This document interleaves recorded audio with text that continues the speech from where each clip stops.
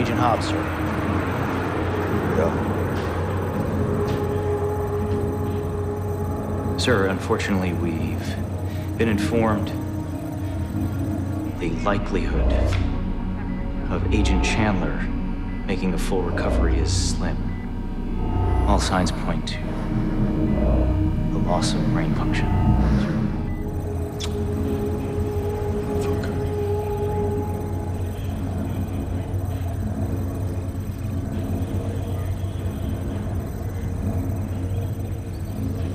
Okay.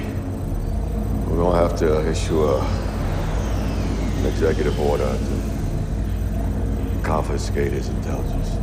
Sir, this is not confirmed. It's not 100%. We're still dealing with a living human being. And we're dealing with millions of human lives. Millions of human lives.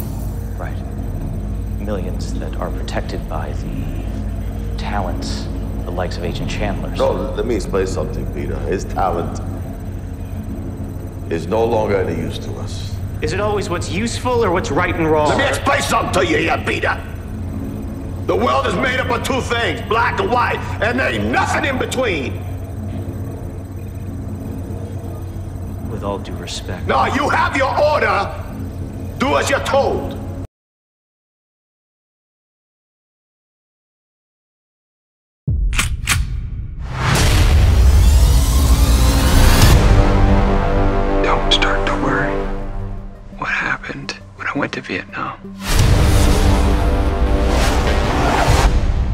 You came home.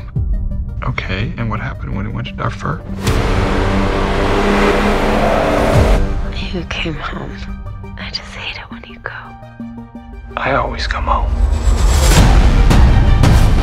Dozen high-ranking terrorists are planning one hell of a party. Exactly when and where we do not know, but what we do know is that there is information out there.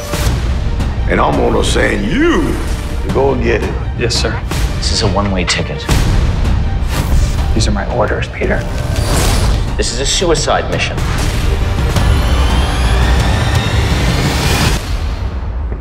Yes? Kelly is in a coma.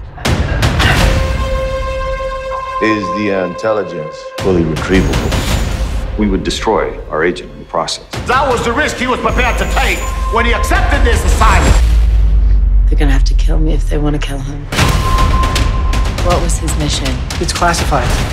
Tess is looking for answers.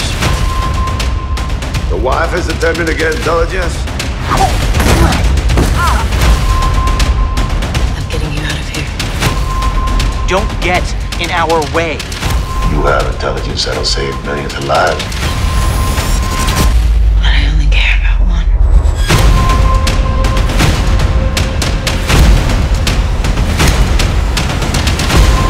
You have to accept the reality of the situation here.